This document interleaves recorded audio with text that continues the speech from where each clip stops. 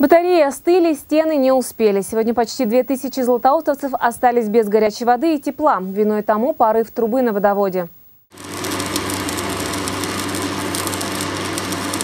Коммунальная бригада латает трубы с самого утра. Задача рабочих – как можно быстрее вернуть жителям тепло и горячую воду. Без этих благ сегодня остались 18 домов в районе машзавода. Причина тому – обычная авария на водоводе. А рвется, как известно, там, где тонко. Не все тонкие места, к сожалению, можно выявить, потому что процессе эксплуатации эти места появляются вновь и вновь. Соответственно, подвижка грунта происходит, соответственно, происходит авария.